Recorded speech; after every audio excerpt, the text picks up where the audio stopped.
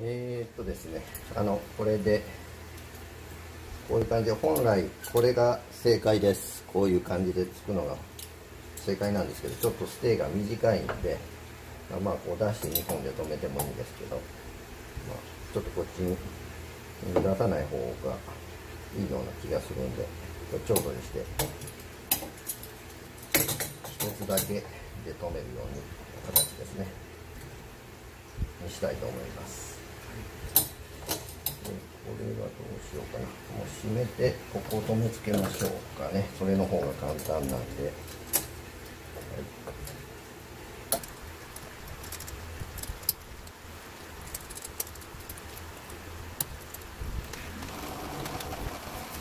ください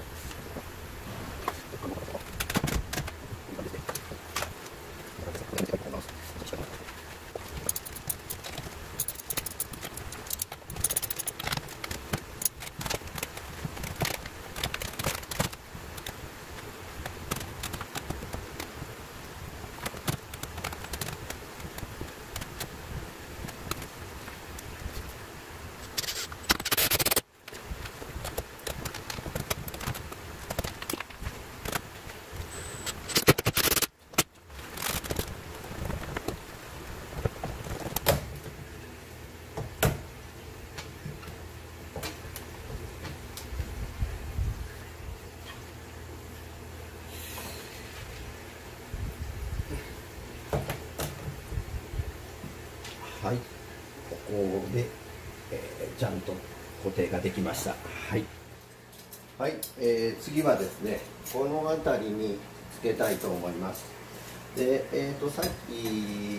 も言いましたけれども、えーと、こういうところでジョイントのところでつつけるんではなくてこういうストレートの部分ですね。こういうところであのつけてください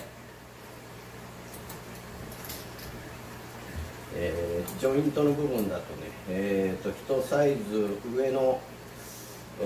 まあこれ50なんですけど50であれば60買えばいいじゃないかって思われると思うんですけど60だとこのジョイントの部分で挟んでもガサガサになります。なので、えー、適正なやつを買ってください。それが正しいです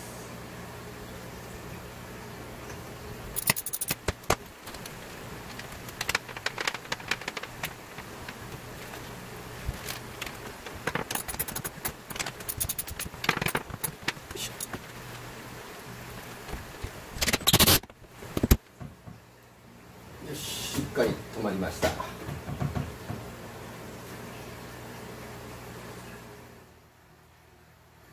はい、えー、ここまで、えー、もう出来上がりました、えーと、同じようなことになるんでもう説明を省きましたけれどもこういう感じですね。これでここちょっと最後ねまだ変えるかも分かりませんけれどもはい。これねちょっともともと作ってたやつと違うんで本来こいつがここですね。これがここに来ないとダメなんですけどえー、まあその辺はちょっとまた今度、えー、考えてからやろうと思います。でこっちもです。できてるんですけれどもですね。ここですね。はい。ここちょっとちゃんと入ってないんです。でなんでかっていうとですねちょっと間違えてこのサドルを買っちゃいましてこれ1つしかないんです。で本来はこういう留め方しないんですけれどももうここに入る隙間がないんで、えー、こっちにしたんですけど本来こういう2つついてるやつを買わないとですねこっちにこっち側に寄らないんですよね。こっちに寄ってくれないとあの配管が水槽内に入ってくれないということになります。まあここはまたちょっと後で買って、えー、直したいと思います。でこことここにもう一つ、えー、サドル2つですね。で、もう一つここ最後一つつけて、えー、止めたいと思います。で次なんですけれども、えー、ちょっとバレットが、えー、隙間が邪魔なんでちょっと取りたいと思います。でえー、っとですねあのーこれですねこの向こうにあの汚水があの汚水カップから流れ込むようにここになるんですけれども、えー、当然ドロドロの水が流れていきます、えー、それをですねえー、っとメンテナンスを長くしなくていいようにですね、まあ、洗わなくていいように、えー、するのにですね、えーと、ここにある RO 水を作るやつなんですけれども、えー、RO 水純水のお水が出てくるのがこれです。でそれ以外にもう一つ汚い水が出ていくのがこのホースなんですけれどもこのホースをですね、えー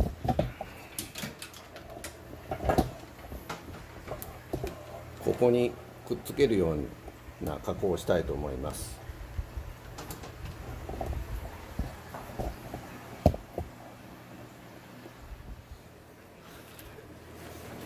はいえーえー、外しました。で外してちょっと加工したいと思います。でこのホースをですね、えー、ここに直接入れるとあのー、せっかくここネジにしてるのにこのホースを外せなくなるんでこういうものを使ってですねあのこれ差し込んで外せることになってます。でこれをここに穴を開けて入れたいと思います。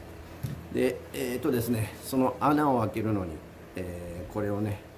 こういうドリルの先っちょですね。あのこれだとねちょっと結構大きい毛になるんで今ちょっとこのちょうどいいサイズがないんでこれで開けたいと思います。でこれはまあまあ何て呼ぶのかな。あの僕の師匠はたけのこって呼んでましたけれどもまあたけのこみたいな形なんで、えー、たけのこって呼んでました。じゃあ開けていきたいと思います。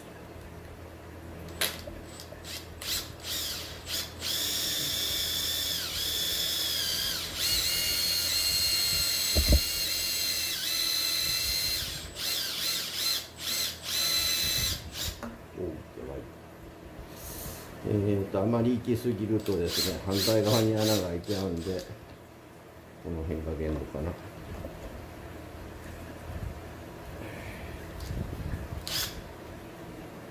この辺が限度ですね。えーとちょっとこの穴まで足してません。大きさ今でなってませんね。えーとちょっと別の工具を持っていきたいと思います。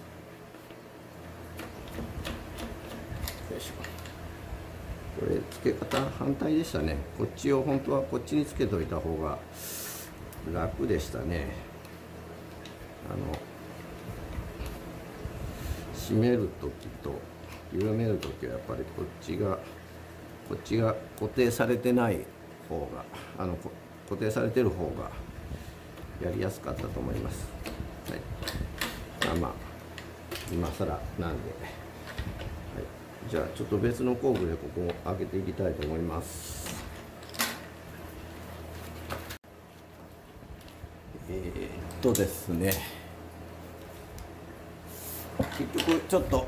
なかなかうまいこと広がらないんで、えー、ドリルでこれでちょっと広げていきますこういうふうな感じで。最終的にはですね、えーと、シリコンでまた留めたいと思うんでこの程度でいけばあまり隙間がないぐらいでいけそうですね。こんな感じではいはいちょっと後でベンチで締めたいと思います。はい、ちょうどいい感じです。で、はい、次もう一つの方もやっていきたいと思います。はい、えー、こんな感じで2つ、えー、つけました。でえっ、ー、とですねこの穴の中ですねここの穴の中にちょっとあの、うん、ジョイントが出るように両方しました。こっちもそうですねちょっと出てますね。はいであとここの周りをシリコン塗ってあの水漏れがしないようにですねしたいと思います。はい、えー、こんな感じでえー、一応パレット隙間ですね。の方をつきました。えー、っとここですね。この部分のあの排水から出てくるチューブをここにつなげました。はい。でもう一つはここここですね。はいここにくっついてます。でえー、っとですねここ汚水カップからえー、流れてここの本この中に入るんですけれども、えー、ここ入ってくるとですねちょっと気になるのが、えー、水が流れてる間に排水されるとですね、え汚水カップの方からどんどんあの排水汚物が流れていくとですね、えそこにちょっと抵抗ができるんで、えここの隙間の中の泡の水位がちょっと下がるんじゃないかなっていう気はするんですけれども。えー、一回ちょっと回してみないとわからないので、えー、次回はちょっとここに水を張ってですね、え、回したいなと思います、え実験でやろうと思うとですねやっぱりあの海水でないときれいに泡が立たないですなのでここ RO 水を張って、ええー、海水を作ってですね、え回していきたいと思いますでそれであの大丈夫なようであればえー、お魚さんの引っ越しがそろそろようやくできるかなという準備になってくると思いますので、えー、ちょっと楽しみではあります。はい、えー、今日はこんなところで、えー、終わります。ではまた。